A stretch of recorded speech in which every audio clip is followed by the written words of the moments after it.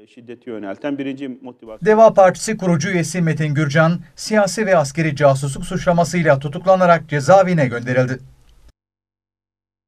Ankara Cumhuriyet Başsavcılığı'nın Nisan 2020'de başlattığı soruşturma kapsamında 26 Kasım'da İstanbul'da gözaltına alınan Gürcan, sorgu için Ankara Emniyet Müdürlüğü Terörle Mücadele Şubesi'ne getirilmişti. Gürcan'ın emniyetteki ifadesinde iki ülkenin elçilik çalışanlarına binlerce dolar karşılığında gizli askeri siyasi bilgiler verdiği raporlar hazırladığı ortaya çıktı.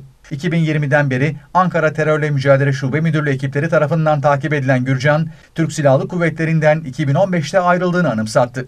2019'dan itibaren de Türkiye'nin yakın çevresiyle ilgili talep eden kişi ve kurumlara şeffaf, tamamen açık şekilde danışmanlık hizmeti verdiğini savundu. Gürcan, otel, alışveriş merkezi ve arabada zarf içinde para alırken polisin takibine takıldı.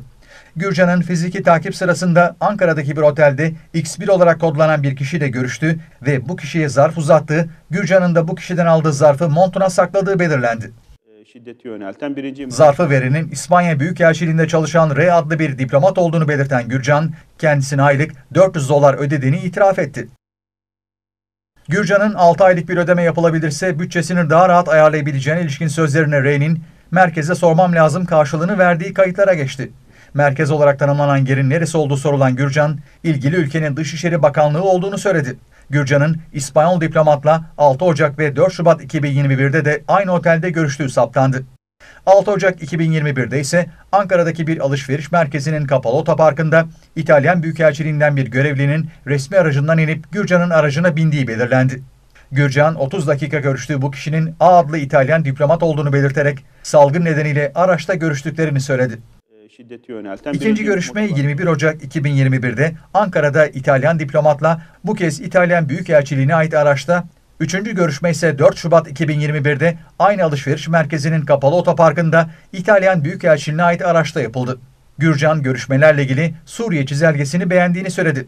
Doğu Akdeniz, Libya, İtalya, Yunanistan ilişkileri, mülteci hareketliliği, Afganistan hakkında bilgi alışverişinde bulunduğu ifadelerini kullandı. Deva Partisi Genel Başkanı Ali Babacan ise katıldığı bir televizyon programında Gürcan'ın casus olmadığını savundu.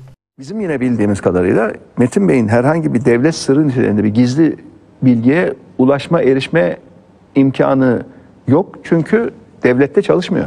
Eski bir yani devletin içinde çalışıyor olsa, devletin içerideki gizli bilgilerine sahip olsa da o bilgiyi dışarıya taşısa zaten casusluk tanımı o.